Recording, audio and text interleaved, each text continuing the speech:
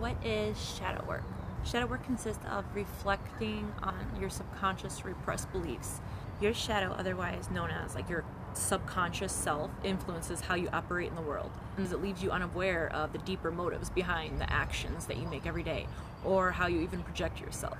By facing your shadows, you know, your inner subconscious, you gain power over them. But why should we do shadow work? As you begin to understand your subconscious ego, you can overcome addictions and understanding the root cause of your relational issues. So the common purpose for shadow work are exploring and understanding past traumas, identifying and overcoming your limiting beliefs, examining patterns of behavior in your relationships. Like example, let's say you notice that you're triggered when someone says something seemingly harmless, like wow, what a bold outfit sounds passive aggressive, but maybe you start to feel like your blood pressure just go up and your body temperature rises, but you just don't understand why you're feeling this way. Though by going through the process of deep shadow work, you discover that your reaction could stem from growing up and being shamed for being bold, loud, and talkative, all from your childhood.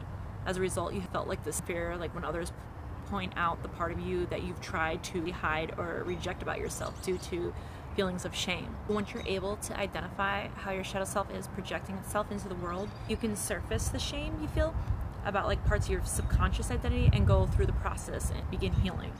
What are the benefits of shadow work? The benefits of going through the process of shadow work and psychotherapy influence your brain in such a way that it can function at a healthier level.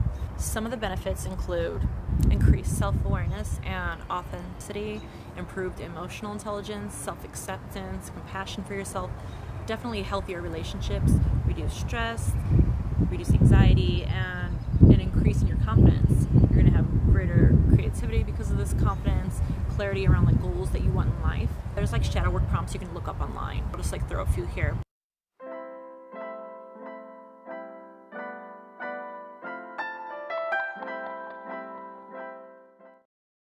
These worksheets are like self-help that you could find online help you tap into the emotions and sometimes dark thoughts that are repressed within your subconscious that we all have. Spend five to 10 minutes reflecting on the memories each prompt brings up.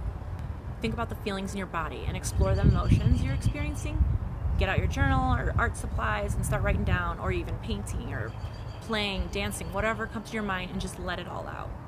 Take five to ten minutes afterwards and then read back or look back at your work.